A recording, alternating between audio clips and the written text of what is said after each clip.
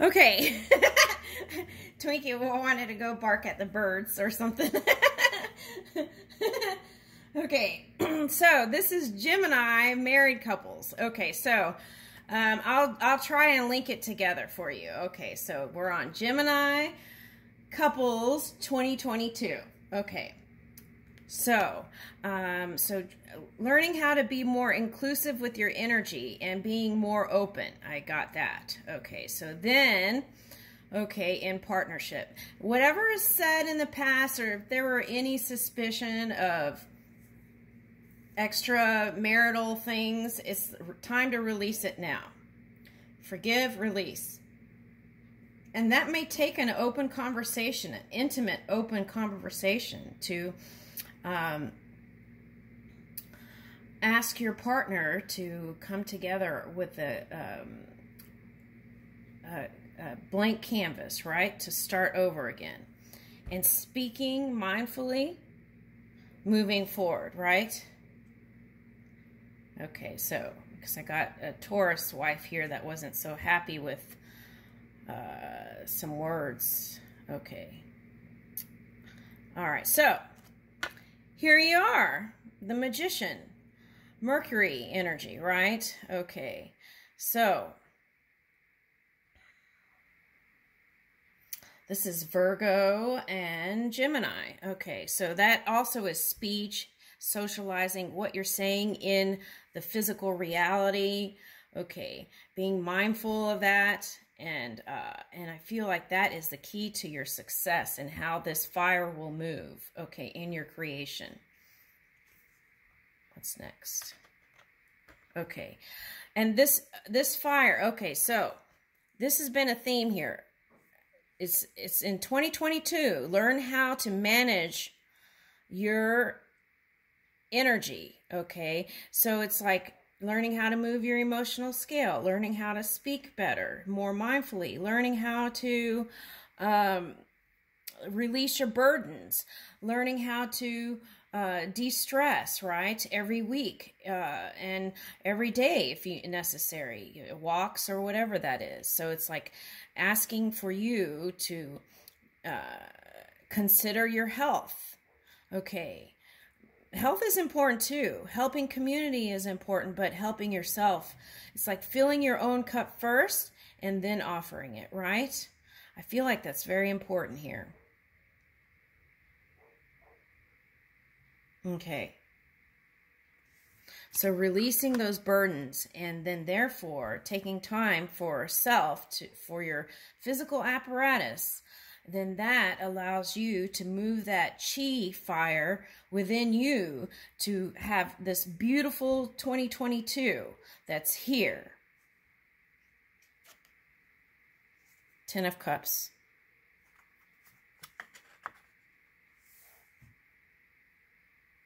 I'm amazed. I'm like, woo, this is a pretty Ten of Cups. Okay. I was like, how do we go from this to here? Okay, so see, that's a big jump right there. And I feel like that's key. Okay.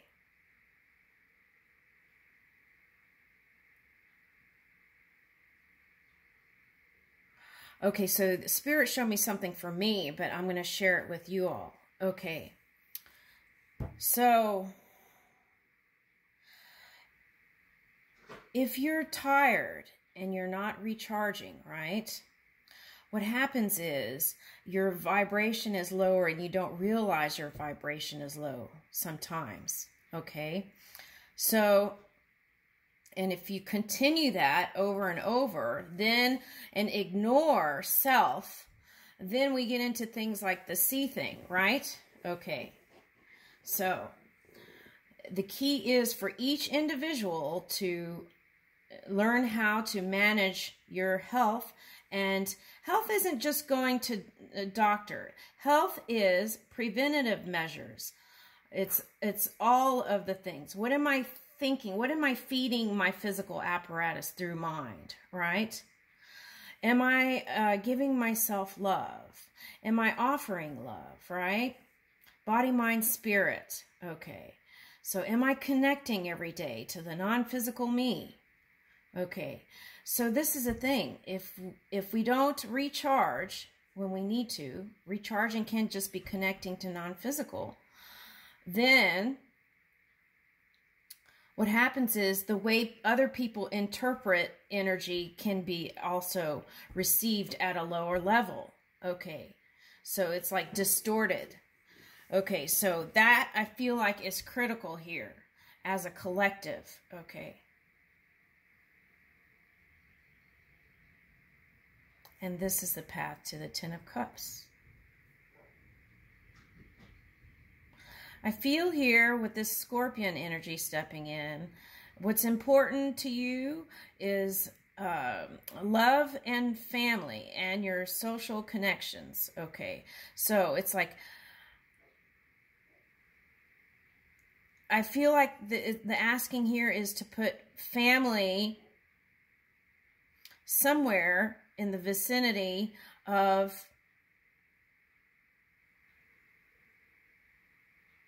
the next thing, right? So it's like me, me, myself, and I, and then family, perhaps, right? I feel like this is what Gemini is reaching for. Okay, something like that.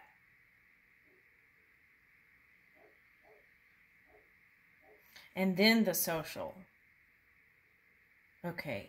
And that's been some things. Okay. Social for some was like work. So, so it's balancing, bringing that balance card back. Okay. That was in another spread. Okay. So, um, yeah, bringing that balance to everything. Time management, discipline, right? Being determined to give yourself love and uh, restoration when it's due, but even before it's due, right? Just making that a practice.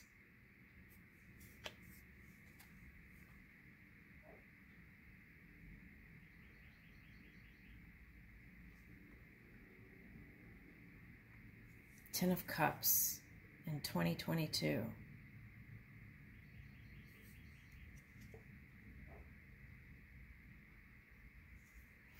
Okay, so here's Prince of Wands. The suggestion is it's mutable, so be flexible, right?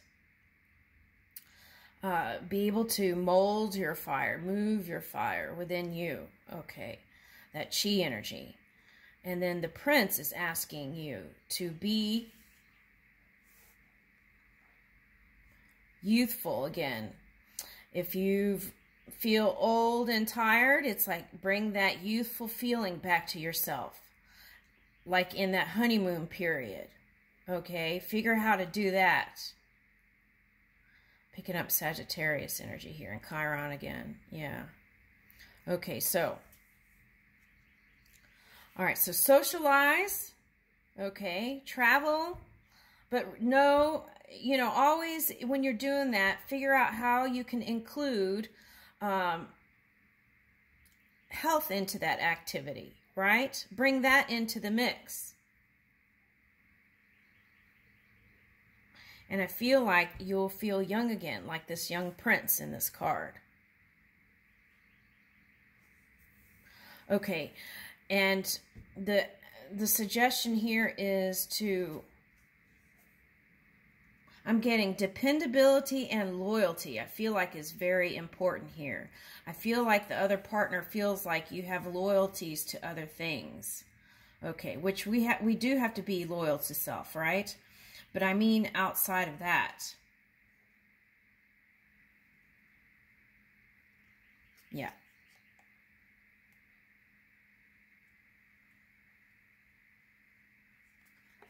Yeah. Yeah, so I feel like there needs to be a conversation if you've if there's been any question about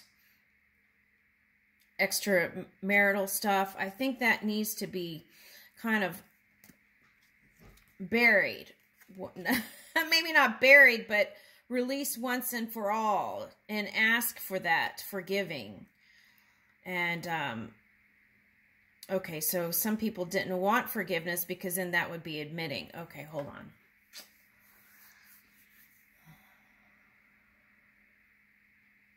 Okay, so at least forgive yourself and then ask your partner for uh, a new beginning. Let's take 2022 to a new place, right? And then be inclusive with your energy. Communicate.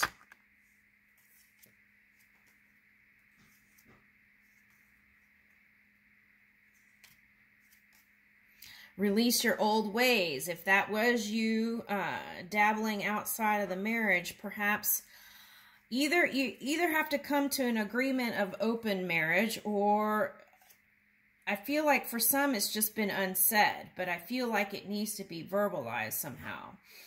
Decide on whether you want that or not as a partner. It's very important to disclose that.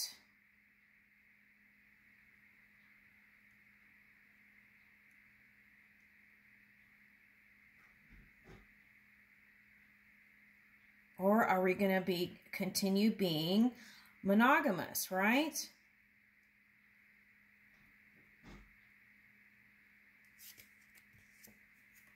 I feel like there's been some giving up on some some things.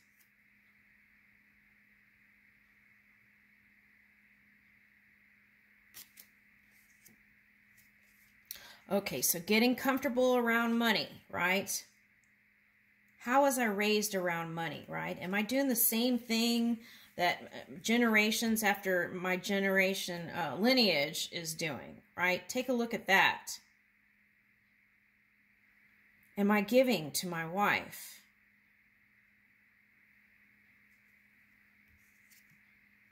Energetically and monetarily, right?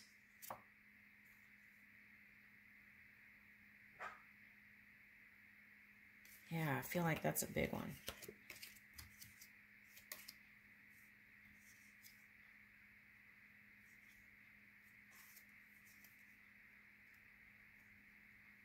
Okay, so I feel like on their part, they feel like uh, if there was something of that, is like they feel like you might sneak off again or something. That's what I'm picking up. So you have to communicate that you that they're the only ones. There's only you, right? Is that a song? There's only you. You can't control their mind. They're going to think what they want. But uh, verbalizing and communicating this Eight of Wands, right, could bring that in. Here's the Six of Cups. Because I feel like deeply that person loves you.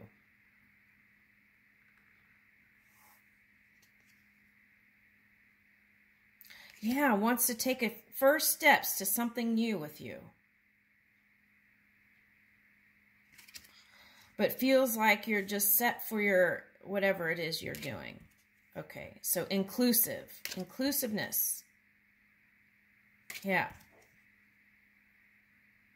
I feel like that's the key to your success in 2022. I leave you that. Thank you.